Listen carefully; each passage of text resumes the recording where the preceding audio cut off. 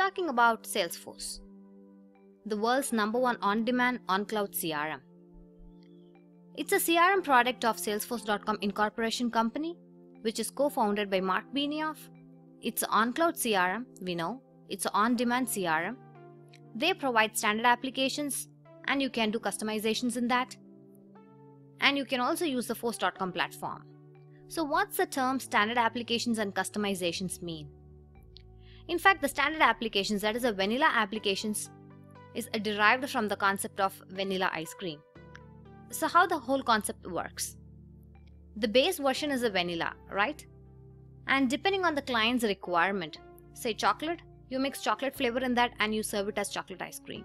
Strawberry, you mix strawberry flavor and serve it as strawberry ice cream, right? So, the vanilla is a base flavor, and depending on the client's requirement, you do customizations and serve it accordingly. So the same concept applies here. The vanilla applications are the standard Salesforce applications provided by Salesforce, be it for sales, be it for call center, be it for marketing. And depending on the client's requirement, you customize it, and the level of customization depends on the requirements. So, that is the concept of standard applications and customizations. The standard vanilla applications are available to you and you can customize them and deliver it to the client. But for some reason, you say, I do not want the standard applications. I want to build my own application from scratch. Definitely, yes. You are free to do that. And that's the reason Salesforce has provided the Force.com platform. Using the Force.com platform, you can build your own custom applications and deliver it to the client. And it is very easily integrated to other on premise and on cloud applications.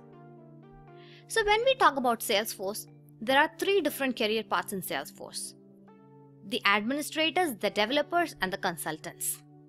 So, who is an administrator?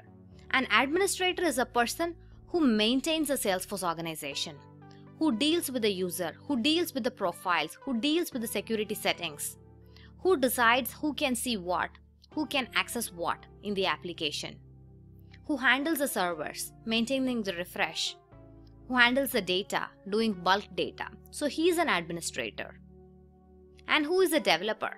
A developer is a person who develops the application. Just few minutes before we were talking about the customizations, right? So who does these customizations? A developer does these customizations. And a consultant.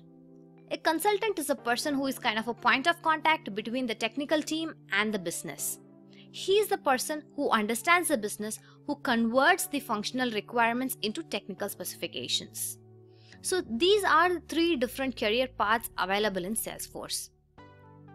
And by now, definitely there is one career path available in your mind, right? With respect to Salesforce admin certifications, you have got two tracks that is ADM 201 and ADM 211. ADM 201 is a basic administrator certification. Once you clear that, you will be eligible to take up either the Sales Cloud Consultant or the Service Cloud Consultant. If you want to go in the consultant track, or if you want to furthermore enhance your skills in the administrator track, clear ADM 201, that is a basic administrator certification, and then go for the advanced administrator certification.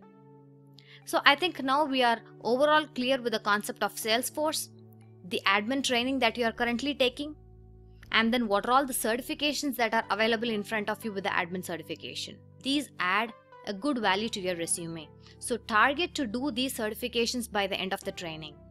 So, in this training, we cover both the basic concepts and the advanced concepts of Salesforce admin.